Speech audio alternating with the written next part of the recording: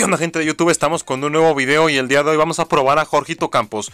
Una carta que a mí me hace mucha ilusión.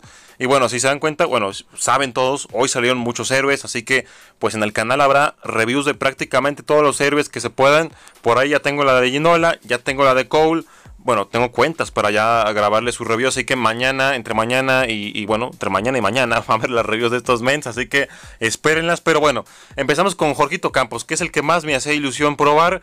Y bueno, aquí están un poco de los números. Saben que es una carta que va a valer como 40 millones o algo así ahorita con los intercambios. Después creo que va a estar más barata en el mercado. Bueno, tiene por ahí estirada el portero que es interesante que lo tenga porque saben que es un jugador bajito, tiene muchos reflejos, tiene por ahí eh, saltos también que son bastante altos lo que tiene. Saben que es un jugador como insisto, 1.70 de altura, así que hay que ver si este estigma de un jugador bajito en la portería afecta o no. Vamos a verlo ahorita en esta review. Pero bueno, es un jugador con rasgos, ahí lo pueden ver. Está interesante Jorgito Campos. Saben que yo, a mí no me encanta mucho hacer reviews de porteros, pero creo que Campos lo vale. Y algo interesante que hay que decir de Campos, si se acuerdan, y muchos, sobre todo los mexicanos, sabemos que Campos jugaba como delantero centro, pero había partidos donde cuando estaba él como portero, me ponía el balón en la cancha y se ponía a correr por toda la banda, llegando hasta el área del rival. Por eso tiene estadísticas tan curiosas como la velocidad de sprint, la agilidad que tiene es brutal, tiene control del balón y los pases y la visión que tiene son espectaculares. Así que vamos a ver todo esto en esta review de Jorgito Campos. Para empezar ya una tajada por aquí que le hace a, a Havertz frente a la portería. Tremendo manotazo le dio ahí a, Kai Havertz. Aquí simplemente pues persigue la bola, pero la verdad es que se estiró bastante bien. Y bueno, una de las virtudes, de las grandes virtudes que tiene esta carta de Jorgito Campos es esta. Aquí ven cómo pone el pecho a las balas, impresionante. Aquí pongo la repetición para que vean cómo lo hizo Jorgito Campos. La verdad es que hizo una cosa impresionante. Y sale con muchísima velocidad y después con todo el pecho recibe el impacto del balón es una de las grandes virtudes que tiene esta carta de Jorge Campos, que sale muy bien ahí a achicar a los rivales. Y eso es algo que, a mí me llamó mucha atención. Aquí tenemos una tajada espectacular. La verdad es que se lanza bastante bien. Y con la mano derecha lo hace muy bien. Campos delantero activado, gente. Arranca Jorgito Campos. Amago de tiro abierto a Roberto Carlos y se va en velocidad. Después le aquí Berwin, que es mucho más agilidoso y hábil, y pues le quita el balón. Eso no terminó en gol, insisto, no terminó en gol, pero casi, casi una cagada de Campos ahí. Aquí, bueno, el portero lo hace bastante bien. Campos, insisto, otra vez vuelve a seguir la pelota. Un disparo más aquí, Lewandowski le pega con la zurda en un rango que yo creo que era atajable. Y aquí sí empiezan las desventajas que tiene esta carta de Campos la estirada es muy cortita. Tiene 170 de estirada, pero a pesar de todo eso saben que es un jugador que tiene 1.70 de altura, que eso sí, jode bastante. Y pues aquí se vio en esta jugada con Lewandowski, que la verdad es que sí se ve bastante cortita la estirada que tiene. Este pase es espectacular y esto lo pongo aquí como una de las virtudes también. La salida del balón con los pies es buenísima. Y es que literalmente se la puso al pie a Roberto Carlos. Y yo la verdad es que no me esperaba que hiciera este tipo de pases de campos.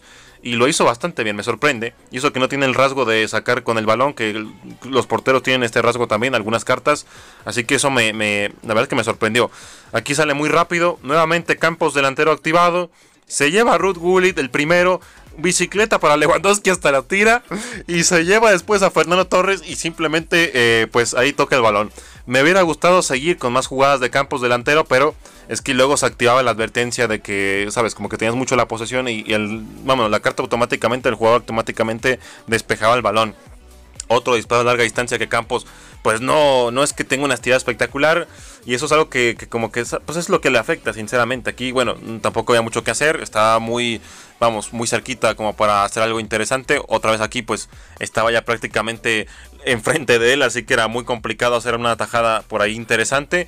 Pero creo que, como te digo, a pesar de que tiene desventajas muy grandes como la estirada y pues no sé, algunas cositas por ahí. Yo creo que tiene mucha reacción, tiene mucha velocidad como para salir ahí un mano a mano. O sea, Campos es una es digamos una garantía en la salida de balón aunque ciertamente cuando te hagan un 2 contra 1, pues ahí ya te chingaron. Si el, si el, bueno, si el jugador vio que había otro jugador ahí acompañando la jugada, pues ya valiste madre. Pero bueno, reacciones tiene y bastante buenas. Ahí lo vieron con otra tajada que hizo. Después en los corners, pues la verdad es que no es mejor, porque obviamente todos los porteros le meten muchos goles en corners. Aquí en un disparo a larga distancia, pues también era complicado. Le pegó con mucha potencia a Renato Sánchez. Y pues prácticamente nada, nada que hacer con, con, con Campos en esta jugada, era muy complicado. Aquí un mano a mano, insisto, en estas jugadas cuando te hacen un 2 contra 1 o 3 contra 1, pues si sales con Campos ya valiste madre. Y es que igual no tienes otra cosa que hacer más que salir con el portero, porque si te quedas parado, pues igual te iban a meter gol. Aunque yo la verdad es que lo hice intencionalmente para salir con Campos y ver qué tal lo hacía. Por eso aquí pueden ver que hay un montón de, jugadas donde él, hace mano a mano, porque quería ver qué tal la achicaba. Aquí sí, Di María, la verdad es que me lo humilló. Pero es que también, pues, como que los porteros se buguean cuando hacen este tipo de jugadas, los, bueno, los rivales, o sea, que te hacen un regate frente al portero, como que los porteros se buguean y no, y no salen, como que no se tiran y no cortan, eso es lo jodido. Aquí un disparo que le tapa muy bien con la derecha a Harry Kane, lo hizo bastante bien, iba con mucha, mucha potencia. Y aún así, con todo eso, lo hizo bastante bien Campos.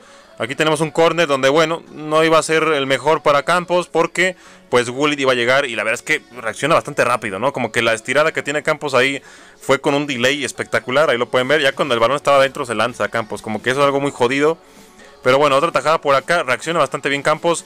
Y pues prácticamente esto es Jorgito Campos. Esta es la carta de Jorge Campos.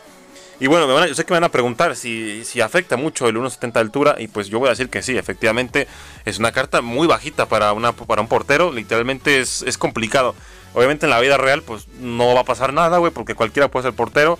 Pero sí que en un juego como este o incluso el de consola, pues sí se nota, ¿no? Un portero bajito sufre bastante. Y obviamente Campos, pues sí se ve que la estirada, a pesar de que tiene mucha estirada de portero, pues sí se ve que le cuesta, ¿no? Al momento de estirarse, como que se ve muy cortita, ¿no? En sí, comparándolo con cartas monstruosas como Courtois o Van der Sar o hasta el mismo Unai Simón que muchos tenemos, pues obviamente se nota la diferencia de, estirada porque es un jugador que mide 30 centímetros menos, o sea, es muy complicado comparar esas cartas, pero bueno.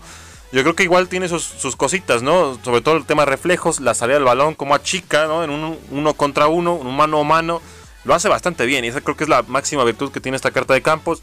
Pero sinceramente para gastarse 40 millones en una carta que solamente achica bien, pues la verdad es que yo no lo haría. Yo lo voy a hacer si puedo, más que nada porque es Campos y porque es mexicano y porque más que nada por eso, no no tanto porque es un portero de calidad y tal, más que nada por eso, simplemente.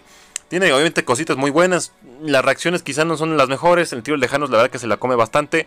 Pero sí que tiene buenos reflejos. Eso lo puedo decir. Muchos buenos reflejos. Y sobre todo el mano a mano, insisto, es bastante bueno. Y bueno, ya como campos delantero, la verdad es que lo hace muy bien.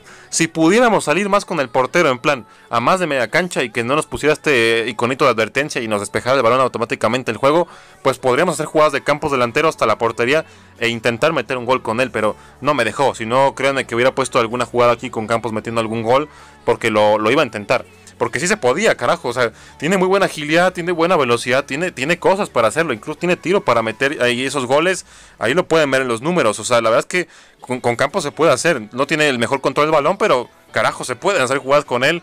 Que eso es lo más interesante a comparación de otros porteros. Sin duda es un portero único. No es el mejor, obviamente, ni, ni, de, ni de cerca es el mejor.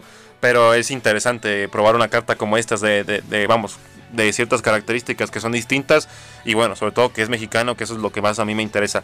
Y bueno, pues nada, simplemente era un mini homenaje también a Campos, que a mí me encanta siempre cuando lo escucho en la televisión mexicana narrando partidos junto con Martinoli García, que yo sé que muchos los conocen quizá en Latinoamérica.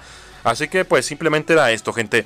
Ya saben, dejen su like, suscríbanse al canal y pues ya saben, si el, si el árbitro no marcó el penal es porque no era penal, carajo. Así que nada más eso. Nos vemos en un próximo video, dejen su like y ahora sí hasta la siguiente review que haga de algún héroe o algo así, gente. Nos vemos en un próximo. Adiós, dejen su like, vámonos.